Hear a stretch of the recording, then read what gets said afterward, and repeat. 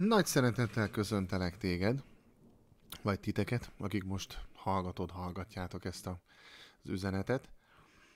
Hát ez egy ellentmondásos téma, amiben belecsapunk. Szabadító szolgálat, démonológia. Hát, hogy eleve van, akik hülyének tartják azokat is, akik hisznek a szellemvilágban. Másrészt meg vannak, akiknek nagyon komoly természetfölötti megtapasztalásaik vannak, csak nem tudják, hogy melyik oldalon, hogy sötét vagy világos oldalon.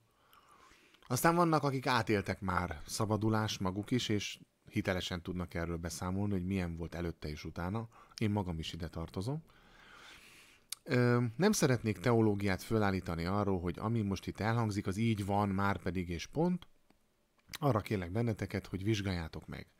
A Biblia nem túl sokat, de azért beszél erről a témáról, viszont nagyon sok mindenben a tapasztalat, és hát igen, mondhatjuk azt, hogy a gyakorlati teológia tud segíteni minket ebben a területben. Alapozásról lesz szó, alapokról lesz szó, a démonok feletti győzelemről, és arról, hogy hogyan szabadulhatsz meg, ha erre van szükséged. Nos, csapjunk is akkor bele, és nézzük meg ezt a témát, nem a teljesség igényével. Jézus azt mondta, ha viszont én Isten szellemével űzöm ki a démonokat, akkor bizony elérkezett hozzátok az Isten királysága. Máté 12.28-ban hangzik el ez a mondat, és én úgy gondolom arról szól, hogy Jézus megmutatta azt, hogy vannak birodalmak egymással a szellemvilágban is szemben, és van egy királyság, amelyik erősebb a másiknál, és az erősebb királyság legyőzi a gyengébet. És azt mondta, hogy az mennek a királysága, az Istennek a királysága, az Isten királysága azzal jött el, és azzal tudja demonstrálni, hogy valóban itt van, hogy a másik királyságban lévő szellemi lények fölött hatalma van. Nem akármilyen hatalma még pedig, csodálkoztak is az emberek, hogy nem különböző kegyszerekkel, vegyszerekkel, amulettekkel, és a többi, és a többi segédeszközökkel próbálta Jézus kiűzni a démonokat, mint a vándor zsidó ördögűzők előtt Palesztina területén, hanem hatalommal parancsolta tisztátalan szellemeknek, és azok engedelmeskedtek neki, ahogy írja Márk egy kettő. És ez egy döbbenetesen új módszer volt, ha szabad így fogalmaznom.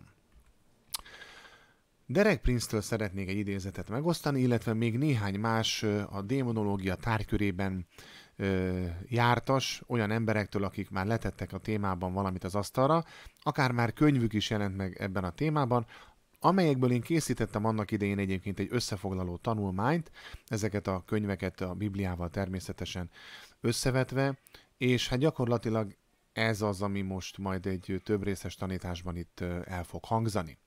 Tehát Derek Prince a következőt mondta. A személyes tapasztalat önmagában sohasem szolgáltathat elégséges alapot egy bibliai tantétel felállításához. Előfordulhat azonban, hogy jól rávilágít egy olyan tanításra, amit korábban is ismertünk, csak nem tudtuk, hogyan kell azt alkalmazni. Aztán Frank Hammond a következőt mondta. A szellemi harc nem azonos az imával. Az imától különböző azt kiegészítő tevékenység. Semmi értelme ugyanis olyanért könyörögni Istenhez, ami már megadatott. Ne ostromoljuk a mennyet olyan dolgokért, amik a kezünkbe vannak, hanem használjuk azokat. Aztán egy másik úriember, Graham Powell a következőt írt a könyvében. Keresztényként a mindenható, minden hatalommal rendelkező Istent szolgáljuk. Amint haladunk előre Jézus Krisztus nevében, abban a névben, amely minden név fölött való, soha nem kell félnünk, ha összeütközésbe kerülünk a sötétség országával. Bill Szabricki a következőt állítja, ha nem tudod százszázalékosan elfogadni, hogy Jézusé minden hatalom menjen és földön, és hogy ezt a hatalmat ő veled megosztotta, nem leszel sikeres a szabadító szolgálatban. Végül egy idézet Peter J. Harabintól, Jézus szolgálata tartalmazott gyógyítást és szabadítást is. Az egyház nem hagyhatja figyelmen kívül az evangéliumnak ezeket a nélkülözhetetlen elemeit, ha hatékony eszköz akar lenni abban, hogy reménységet nyújtson a reményteleneknek, meggyógyítsa a megtörteket, helyreállítsa a testileg, értelmileg és szellemileg beteg embereket, és szabadságot kínáljon az elnyomottaknak vagy azoknak, akik az ellenség fogságába estek. Nos, ezek után a fantasztikus idézetek után nézzünk meg egy nagyon fontos alapelvet, ami viszont tényleg azt gondolom, hogy egy fundamentum, egy alaptantétel. Ez az alapelv pedig így hangzik, az újjászületett hívő szelleme már Krisztusé, tehát nem lehet megszállott az illető, azaz nem lehet a démonoknak, sátánnak a birtoka. De a még romlandóság állapotában lévő teste és a lelke, azaz pszichéje, ami az értelmet, érzelmet és akaratot gyűjti egybe, lehet démonikus befolyásnak kitéve, tehát az illető lehet démonizált. Nagyon fontos tehát különbséget tennünk e között a két fogalom között, és én következetesen így igyekszem ezeket használni. Megszállott az, aki még nincs újjászületve, a szelleme is, a lelke is, és a teste is még sátán kezében van. Tehát van egyfajta birtok viszonya sajnos az ördög részéről. Viszont a démonizált kifejezés azt jelenti, hogy valaki már akár újjászületett, nem az ördögi az ő szelleme, az ő lényének a középpontja, a legfontosabb része, hanem már Istené. Viszont vannak még az ő lényének olyan részei, amiket befolyásolhatnak démoni erők. Az 1 Tesszalonika 5.23 ad erről egyébként egy pontos képet. Egész pontosan, sajnos a magyar fordítások azt kell mondjam, hogy nemzetközi szinten egyedülállóan nem pontosan fordítják ezt a verset. Az 1 Tesszalonika 5.23 most a református új fordítás szerint olvasom, így szól. Maga pedig a békesség Istene szenteljen meg titeket teljesen, és őrizze meg a ti lelketeket, elméteket és testeteket teljes épségben fedhetetlenül, ami Urunk Jézus Krisztus eljövetelére. Nos, itt ezzel a lélek, elme, test hármassággal és fordítással van alapvetően a gond. Ugyanis sem az eredeti görög, sem a latin, sem az angol száz fordítások, sem az újabb magyar fordítások nem tudják megerősíteni ezt a hármas felosztást, ugyanis a lélek helyett a szellem, az elme helyett a lélek, a test helyett pedig a test szó szerepel. Na de nézzük, hogy például Csia Lajos fordításában hogy hangzik ez, ő így fordította le, maga pedig a békességnek Istene szenteljen meg titeket mindenestől, egész valótok, szellemetek, lelketek és testetek fedhetetlenül őriztessék Urunknak, a felkent Jézusnak megérkezésére és az egyik legújabb magyar biblia fordítás, az egyszerű fordítás is hasonlóan szól, aki azt mondja, hogy azért imádkozunk, hogy Istenünk, a békesség Istene szentelje meg titeket teljesen, és egész valótokat őrizze meg, szellemeteket, lelketeket és testeteket egyaránt, amíg Urunk Jézus Krisztus vissza nem jön. Tehát az utóbbi két fordítás szerint három részből állunk, és az egész valónk, ami lényünk, az úgy néz ki, hogy van egy testünk, ugye ez az, amit legkönnyebben el tudunk képzelni, mert csak be kell nézni a tükörbe. Vannak ö, érzelmeink, van értelmünk, és ez az, amit a Biblia léleknek, pszichének nevez, és van a szellemünk. Ez a szellemi rész az, amit Isten lehelt belénk, és amit tett minket igazából az ő képmásává, emberi. És ez a részünk az, ami tesz minket halhatatlanná, csak a kérdés az, hogy a halhatatlanságunkat a Biblia tanítása szerint hol töltjük el Istennel, vagy Isten nélkül. Nem szeretnék állásfoglalni, se teológiai vitákba menni, hogy most csak testből és lélekből állunk, vagy test, lélek, szellemből. A Biblia alapján és a majdnem minden bibliafordítás alapján nekem elég egyértelműnek tűnik, hogy hármas lények vagyunk. Nos, így már érthetővé válik talán az, hogy ha a szellemünk Istené, és a szellemünk újjászületik, és a szellemünk átment a halálból az életre, és a szellemünkre azt mondja Isten, hogy tökéletes, és meg van szentelve, akkor még bőven van ott a test, és bőven van ott a psziché, azaz a lélek, a lelki terület, ami bizony lehet kitéve démoni befolyásnak. Pár kifejezést szeretnék még ezentúl definiálni, jó? A démon alatt a gonosz szellemeket értem, vagy más szóval tisztátalan szellemeket.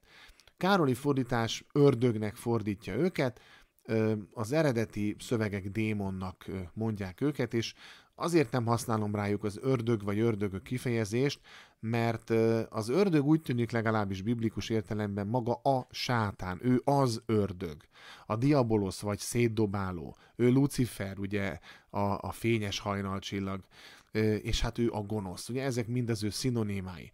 Tehát a démont, démonokat megkülönböztetem az ördögtől, és nem használom az ördögöket többes számban. A kiűz kifejezés, az egballó a görögben azt jelenti erőszakkal kivetni, kiutasítani, kifüstölni, megszabadítani, megtisztítani és elkergetni. Tehát látszik, hogy itt azért valamilyen aktív harcról, csatáról beszélhetünk a, a szabadító szolgálat kapcsán. Nézzük, mik lesznek a mai témáink. Nagyon sok témából a következőket választottam, így alapozásnak. Mik a démonok? Honnan származhatnak? És micsoda Jézus példája a szabadító szolgálatban, ő a legfontosabb, hogy megfigyeljük, így, illetve hogy hogyan gyakorolták a démon űzést aztán Jézusnak a tanítványai. Nézzük hát akkor az elsőt, hogy mik is a démonok. A démonok úgy tűnik, hogy test nélküli szellemi lények, akik vágynak egy leginkább emberi testbe költözni, de ideglenesen megelégszenek akár állati testtel is.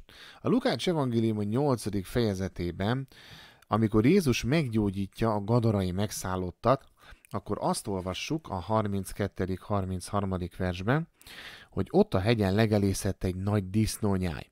Azt kérték tehát a gonosz szellemek, engedje meg, mármint Jézus, hogy azokba mehessenek, miután ugye kijöttek az emberből. Ő pedig megengedte nekik. Kijöttek hát a démonok az emberből, és belementek a disznókba. Ekkor a nyáj a meredekről a tóba rohant, és belefulladt. Hát ez egy elég rövid társbérlet volt a disznók és a démonok között, viszont úgy tűnik, hogy a démonok mindenképpen vágynak valami módon arra, hogy testet tudjanak ölteni, vagyis testbe tudjanak költözni. Er, ez még egy kicsit később majd fontos szempont lesz, amikor összehasonlítjuk őket egy másik csoporttal, az eredetükre választ keresve. Nos, azt látjuk, hogy a démonoknak vannak személyiségjegyeik. Ugye Máté 12.44-ben azt olvassuk, hogy van akarati döntésük, gondolkodnak, döntéseket hoznak. Itt a Máté 12.44 ez konkrétan arról szól, hogy egy démon, amelyik kimegy egy emberből, azután a víz nélküli helyeken bolyongva úgymond, nem érzi jól magát, és hoz egy olyan döntést, hogy ő neki jobb volt ott, ahol eddig lakott, és jobb lenne visszamenni abba a testbe, ahonnan kijött, és azt mondja, hogy visszatérek az én házamba, amikor kijöttem. Aztán, amikor odaér gazdátlanul kiseperve és felékesítve találja azt, akkor elmegy, vesz maga mellé másik hét, magánál is gonoszabb szellemet, bemennek és ott laknak, és annak az embernek az utóbbi állapota rosszabb lesz az előzőnél. Tehát látjuk, hogy a démonok hozhatnak döntéseket. A Jakab 2.19 hozza föl azt a témát, hogy bizony sokan mondják azt, hogy én hiszek Istenben. Erre azt mondja Jakab, nagyon jól teszed, viszont a démonok is hisznek Istenben, sőt tudják is, hogy van Isten, ettől függetlenül rettegnek. Tehát a démonoknak vannak érzelmeik is a Biblia szerint. A Márk 1.24 alapján azt mondhatjuk, hogy van egy intellektualitásuk, vannak ismereteik, ismerik a múltat, sőt, bizonyos dolgokat, kijelentéseket, magát az írást is aránylag jól tudják ismerni, és persze torzítani. A Márk 1.24-ben a démon, aki először tapasztalta Jézus megtestesült földi megjelenését abban az időben, sokkal hamarabb, sőt azonnal rájött, hogy kivel van dolga, az első pillanatban felismerte a názareti Jézusban Isten fiát, ehhez a tanítványoknak legalább egy év kellett, amikor csak elkezdték kapizsgálni, amit ez a démon rögtön lecsekkolt. Aztán a Márk 5.9 alapján elmondhatjuk azt is, hogy a démonoknak van némi öntudatuk, ismerik magukat, ismerik a társaikat, tudják, hogy kicsodák ők, és tudják, hogy kicsodák a társaik, ismerik a neveiket. gyakorlatilag itt a gadarai megszállott esetéhez visszatérve láthatjuk a Márk 9-ben, hogy akkor Jézus megkérdezte, hogy mi a neved, akkor így felelt, hogy légió a nevem, mert sokan vagyunk. Tehát ö, ismereteik vannak, ö, önismeretük van, öntudatuk van. Aztán ez alapján az is egyértelmű, hogy az emberi hangképző szerveket felhasználva hallható és érthető hangon szólalnak meg, tehát van beszédkészségük is ezeknek a szellemi lényeknek. Nézzünk egy sokkal pikánsabb kérdés következőnek. Honnan származhatnak a démonok? Nos, előre leszögezem, egyértelmű, biztos válaszunk erre nincs. Vannak, akik szerint a démonok nem mások, mint a bukott angyalok, amikről a Biblia ír. Mások szerint egy Ádám előtt a földön élő faj test nélküli szellemei, akik Isten ítélete miatt pusztultak ki, amiről azonban a Szentírás nem számol be, mert miért kötne mindent az órunkra. Ehhez kapcsolódik az úgynevezett réselmélet is, amiről én itt most ennek a tanulmánynak a keretein belül nem szeretnék beszélni. Aztán van egy elmélet, miszerint az angyalok, azaz az istenfiak, és az özönvíz előtti korban élő asszonyok közös, természetellenes leszármazottainak a szellemei, lelkei ezek, akik Noé napjaiból maradtak ránk. Végül vannak, akik úgy gondolják, hogy ezek a démonok nem mások, mint a már meghalt embereknek a szellemi, amik itt bolyonganak a, a föld felszínén. Hát nézzünk akkor, nézzük akkor meg sorba ezeket az elméleteket, hogy mivel tudjuk esetleg őket alátámasztani, megerősíteni, vagy éppen cáfolni, gyengíteni. Nézzük, mi van akkor, hogyha a démonok nem mások, mint bukott angyalok.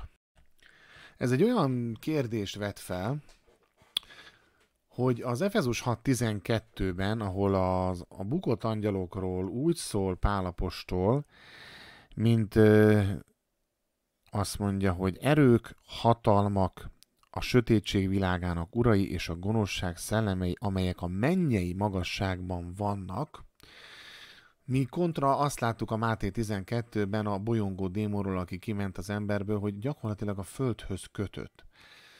Tehát amennyiben a bukott angyalakról beszél az ige, legtöbb esetben őket úgy jellemzi, mint akik valamilyen mennyei szférában vannak, tehát nem ehhez a földhöz kötött lények, hanem valamilyen magasabb pozíciót betöltő szellemi uraságok, uralkodók. Míg a démonokat kifejezetten úgy írja le, amik egyik emberből a másikba, egyik embertől a másikig, vagy éppen egy állatba, vagy egyik embertől állatig, stb. stb. Szóval, akik a földhöz kötötten élnek. A Máté 22.30 ráadásul azt állítja Jézus tanítása ez, ugye, az angyalokkal kapcsolatban, hogy amikor fel fogunk majd mi emberek támadni, és megkapjuk a mi új testünket, akkor az pont, hogy olyan lesz, mint az angyaloké. Tehát az angyaloknak van testük. És hogy jobb, mint a miénk, erre mi sem bizonyíték, mint hogy a feltámadásunk után nekünk lesz olyan testünk, mint ő nekik van most fölvetül a kérdés, hogyha az angyaloknak ilyen frankó testük van, amire mi csak vágyunk, akkor miért akarnának ők a mi testünkben egy sokkal alacsonyabb rendű, gyengébb testben lakni? Aztán a Lukács 22 3-tól 4-ig illetve a 11, 13. fejezet 11 és 16-os verse alapján, amikor azt szokták mondani, hogy hát lám, lám, itt is egy bukott angyal, nevezetesen maga az ördög, maga a sátán, megy be valakinek a testébe, egész pontosan itt ugye az utolsó vacsorán azt írja a 22.3, hogy akkor bement a sátán Júdásba, akit Iskariótesnek neveznek. Nos, valószínűsíthetjük, hogy itt nem személyesen sátán ment be Júdásba, hanem valamelyik szelleme, valamelyik démona. Ez egy jelképes, itt most valójában egy allegórikus kifejezés volt arról, hogy az a sátáni erősség, ami leginkább fogva tartotta Júdást, például a kapzsiság, itt ebben az esetben erőt vehetett rajta, vagy éppen egy antikrisztusi szellem erőt vehetett rajta, és elment, hogy eladja az ő mesterét pénzért. Tehát biztosak lehetünk benne, hogy egy testtel bíró, magasabb rendű szellemi lény nem bújt bele ott akkor és abban a pillanatban az iskariotes Júdásba, és nem szó szerint egy angyal hatolt az ő testébe bele. Sőt, hogy még egy ö, igeverset hozzak avval szemben, hogy az angyalok, illetve az amellett, hogy az angyalok és a démonok azok két különböző kasztba tartozó szellemi lények, erre nagyon jó példa az apostolok cselekedetei 23. fejezet, amikor Pál a nagy tanács előtt beszél, és gyakorlatilag a farizeusokat és a szadduceusokat úgy ugrasztja össze, hogy kihasználja a teológiai különbségeiket az ő látásuk közt. Ugyanis a, a szadduceusokról azt uh, olvassuk itt a nyolcadik verstől, hogy azt állítják, hogy nincs feltámadás, sem angyal, sem szellem, a farizeusok pedig vallják mindegyiket. Tehát a szadduceusok külön tagadták az angyalokat, és külön tagadták a szellemi lényeket. Tehát itt még ez szerint az írásrész szerint sem ugyanaz a szellem, illetve az angyal, tehát a gonosz szellemek vagy a gonosz angyalok. Végül az Efezus 6.12-höz, ha visszamegyünk, azt látjuk, hogy ezekkel az angyalokkal, akiket különböző hatalmaknak, fejedelmeknek ír le az ige, úgy, írja, úgy mondja a Biblia, hogy tusakodásunk van, ami egyfajta szellemi harc, viszont a démonokkal szemben ahányszor olvasunk ilyen találkozót, hogy valakinek föl kell velük szemben állni, egy sokkal inkább már elvégzett harcban egy hatalommal való fellépés történik. Tehát a démonokkal nem azt olvassuk, hogy tusakodunk és harcolunk, hanem azt, hogy nemes egyszerűséggel, amikor lelepleződnek, akkor megparancsoljuk nekik és felszólítjuk őket, hogy távozzanak el, akiknek erre valóban engedelmeskedni is kell. Oké, okay.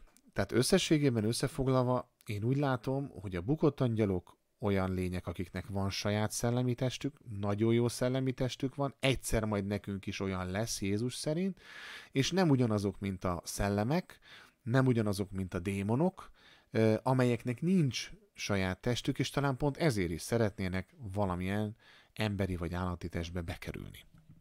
Egy másik teória szerint a démonok egy Ádám előtti faj itt maradt szellemei, lelkei. Ez ugyan megmagyarázná, hogy miért vágynak test után. Viszont mivel a Biblia kizárólag az Ádámi faj történetét rögzíti, és Jézus magát is az utolsó Ádámként ö, ö, apostrofálja, aki eljött, lásd 1 Korintus 15.45, ezért bár nem zárhatjuk ki százszázalékosan, hogy Ádám előtt más lények élhettek-e a Földön, Isten nincs és nem volt arra kötelezve, hogy minden titkát megossza velünk, lásd 5 Mózes 29-28, a titkok az úréi, és a kijelentett igazságok a mieink. Tehát elképzelhető ez a teória, viszont fölvet olyan komoly más teológiai problémákat is, amik hát komoly kérdéseket vetnek föl akkor azzal kapcsolatban, hogy a Teremtés könyvében való leírás arról, hogy Isten hogyan teremtette a Földet a semmiből, és lett teste, és reggel első nap, és második, és harmadik, és stb. nap, és minden nap azt mondta, hogy minden, amit alkotott, az igen jó, de elég nehéz elképzelni azt, hogy egy szerető teremtő Isten a, azt az egész teremtést, amit ö, az órunkra köt, ilyen szép beszámoló formájában Mózes első könyvében, ezt egy gigantikus temetőnek a tetejére rakta volna rá. Tehát ö, elég furcsának tűnne egy ilyen újrateremtés szál, úgy, hogy Isten teremt egy civilizációt, aztán kiírtja mindenestül, és aztán befedi földdel az egészet, hogy ne látszódjon ennek a gyalázata, és aztán gyorsan létrehoz egy másikat, amiről azt mondja, hogy fú, ez sokkal szebb, sokkal jobb. Közben az egész alatt ott van egy ilyen, hát hogy mondjam, rakás szemét halmaz, és, és halál, és kárhozat, és minden más. Ha valakinek a gyomra beveszi ezt, akkor hát nem üdvösség kérdése, tehát még az is lehet, hogy igaza van. Nekem ez kevésbé fér bele az Istenképembe, illetve a Biblia tudósításába, ahogy a réselmélet sem, de, mint mondottam, erről most nem akarnék hosszabban értekezni. Egy harmadik teória szerint a démonok nem mások, mint a nefilimek. Kik ezek a nefilimek? Ugye Mózes első könyvében olvashatunk arról a hatodik fejezetben, hogy amikor az emberek elkezdtek elszaporodni a földön, és lányaik születtek, akkor látták az Isten fiak, azaz az angyalok egyébként, hogy szépek az emberek lányai, ezért feleségül vették közülük mindazokat, akik kisze- akiket kiszemeltek maguknak. Akkor ezt mondta az úr, ne maradjon lelkem örökké az emberben, hiszen ő csak test, legyen az életkor a 120 esztendő. Abban az időben, amikor az Isten fiak, tehát az angyalok bementek az emberek lányaihoz, és azok gyermekeket szültek nekik, sőt még azután is, óriások éltek a földön. Ők azok a vitézkedők, akik ősidőktől fogva hírnevesek voltak. Amikor látta az úr, hogy az emberi gonoszság mennyire elhatalmasodott a földön, és hogy az ember szívének minden szándéka és gondolata szüntelenül csak gonosz, megbánta az úr, hogy embert alkotott és megszomorodott szívében és akkor döntött úgy, hogy eltörli ezt az egész csapatot, de Noé kegyelmet talált előtte. Szóval a nefilimek nem mások, mint az angyalok és az emberek lányainak hát keverékei, azaz angyal-ember keverékek.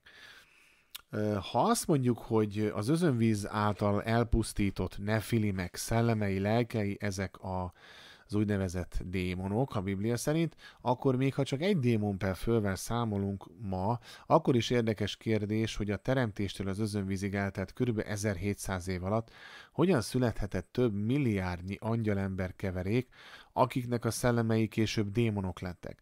Ugyanis tapasztalatom szerint, és ebben mm, többen is megerősítettek, nagyon erőteljes démoni aktivitásnak lehetünk a Földön tanúi, és kevés olyan ember van a több milliárdból ezen a Földön, akit valamilyen démoni erők ne gyötörnének, vagy ne próbálnának fogságban tartani.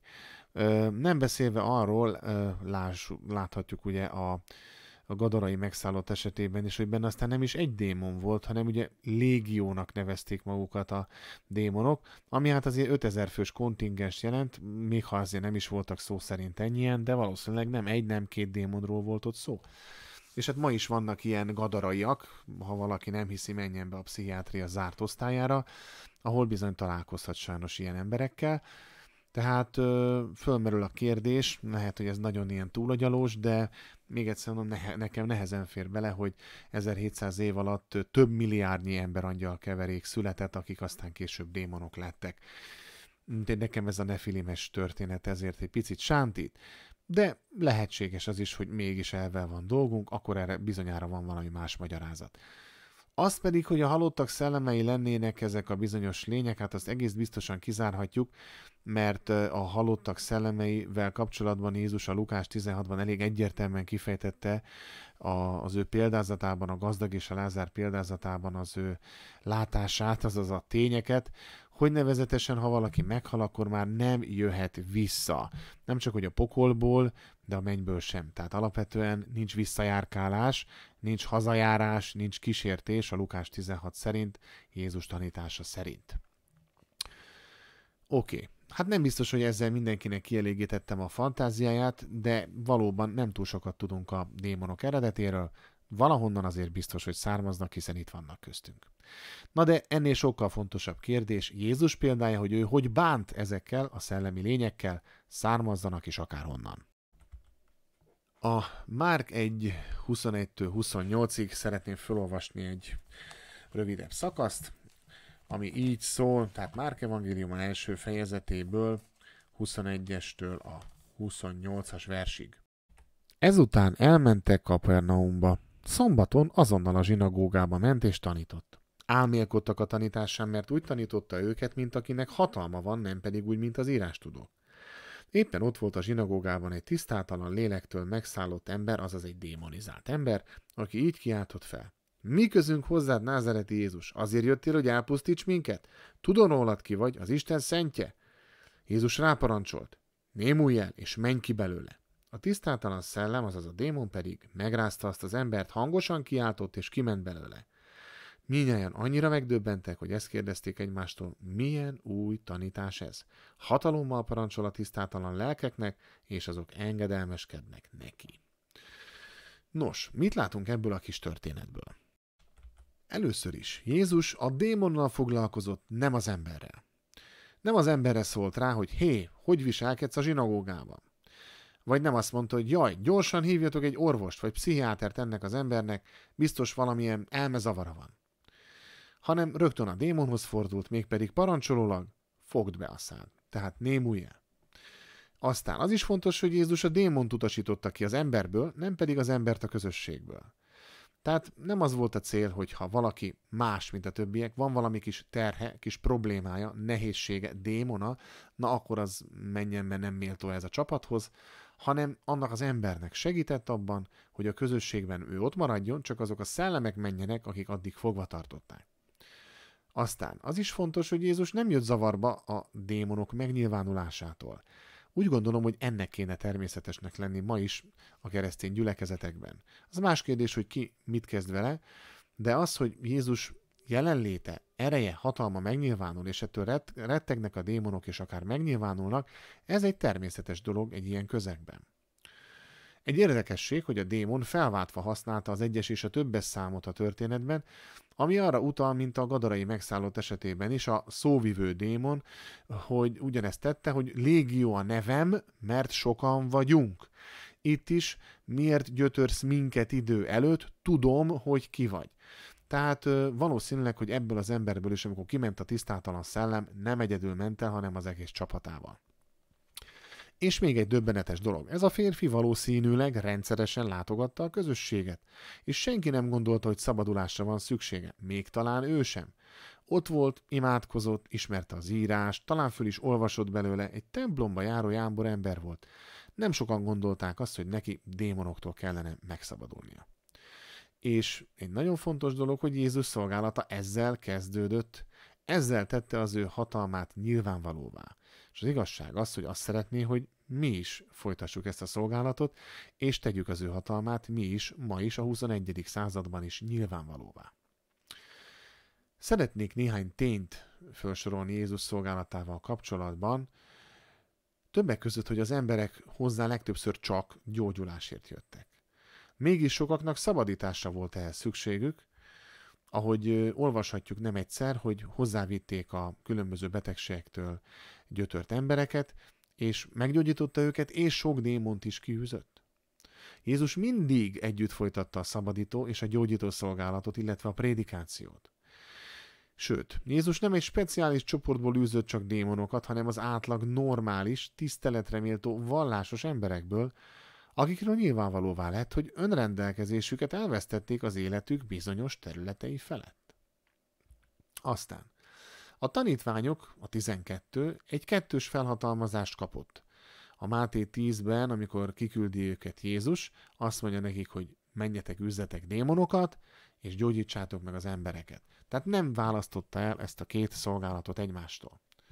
A tanítványok éltek is ezzel, a Márka 13-ban ezzel, erről olvashatunk is, örvendezve jöttek vissza, hogy működik a dolog, és számukra a démonőzés nem egy lehetőség volt, egy választható opció, hanem ez a kötelességük, mondhatjuk a munkaköri leírásuk. A Lukács 10-17-ben, amikor Jézus kiküldi a 70 tanítványt, akkor ők hasonló felhatalmazást kaptak, szintén gyógyításra és démonok kiűzésére.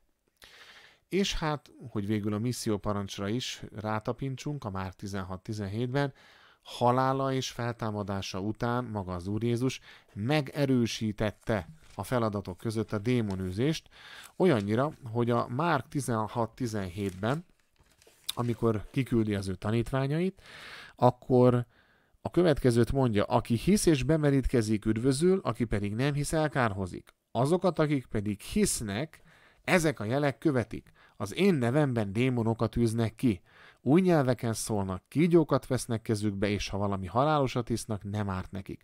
Betegre teszik rá kezüket, és azok meggyógyulnak. Jó, tehát az első dolog, ami megnyilvánulásként felsorolt Jézus, az az, hogy az én nevemben démonokat űznek ki.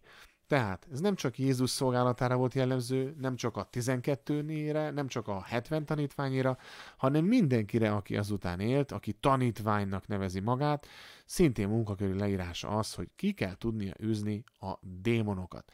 Nézzük, vajon így tették-e ezt a Jézus utáni szolgálók.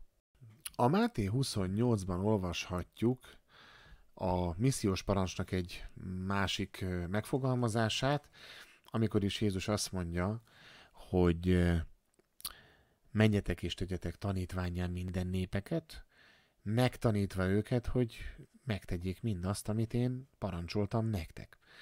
Tehát a megtanulandó évszázadok óta változatlan. Jézus átadta az ő tanait egy csapatnak, egy kiválasztott kis csapatnak, akikkel hatékonyan tudott együttműködni, és azt mondta, hogy most már ti magatok is alkossatok kisebb csapatokat, ti is tanítsatok meg más csapatokat, hogy ők is hatékonyan aztán osztodva továbbadják ezt, még a világ s még két nap, szóval mindaddig, amíg vissza nem jövök. Mert hogy azt is mondta, hogy veletek leszek minden nap a világ végezetéig, ami egyben arra is utal, hogy nem csak azzal a néhány emberrel, aki ott volt, amikor ő a mennybe ment, hanem mindazokkal, akik a világ végéig az ő tanítványaként élünk. Nem csak a tanítványok üztek tehát démonokat ezután nem csak a 70, hanem például különböző más szolgálati emberek is, mint például Fülep evangélista, akiről az Abcsel 21.8-ban olvashatjuk, hogy egy volt a hét közül, hogy ez pontosan mit jelent, és ki volt a másik hat, most ebben nem menjünk bele. Valószínűleg egy adott területen az ismertebb evangélisták közül ő volt az egyik. Egy a lényeg, ő volt az, aki Samáriába például elvitte az evangéliumot, az örömhírt, és az ottani tömegevangelizáción nagyon sok ember gyógyított meg, és szabadított meg a démoni kötelékekből. Tehát az evangélisták is alkalmazták ezt a módszert. Nos, megpróbálták ezt olyanok is utánozni, akik ö, látták például Pálapostoltól, hogy szintén ezt teszi, viszont nem voltak benne sikeresek. Miért? Mert bár az utánzott formula az a Jézusi minta volt, amit kipróbáltak egy démonizált emberen, mert tehát Pál is a Jézusi mintát követte, a formula önmagában mégse volt elég a démonűzéshez, az az ember konkrétan megverte, pedig ők többen voltak, megverte őket, és úgy kellett szagadt ruhába véresen kirohanniuk abból a házból, mert nem jött be az exorcista módszerük. Mert hogy a módszer az nem működik mindenkinek. A módszer csak a tanítványoknak működik, ehhez a módszerhez úgymond, tehát a szabadítószolgálathoz az kell, hogy valaki maga is Jézus Krisztus követője, Isten újjászületett, bemerítkezett gyermeke legyen. Ez egy nagyon fontos alap. Mi volt egyébként Jézus tanítási módszere? Gyakorlatilag egy nagyon egyszerű sémát követett, és ma is így kell, kellene működnie a tanítványságnak Krisztus testében. Először Jézus azt mondta, figyeljétek meg, mit mondok, nézzétek meg, mit teszek. Aztán próbáljátok ki ti magatok is, miközben én figyellek titeket, és én segítek, ha megakadtok. Aztán, ha már gyakoroltatok, akkor most menjetek ti, és csináljátok magatok. Ha ez megtörtént, gyertek vissza, számoljatok be nekem, mi történt, és mondjátok el, hogy milyen problémákkal találkoztatok. Ennek alapján aztán figyeljétek meg megint, hogy mit mondok, és nézzétek meg, mit teszek. Aztán gyertek, próbáljátok ki ti is. Aztán menjetek és csináljátok. Aztán gyertek vissza, számoljatok be, és ha még mindig van gond, akkor figyeljétek meg, mit mondok, nézzétek, mit teszek, és kezdjük előről, illetve folytassuk. És ezt addig kell ismételni, amíg csak szükséges.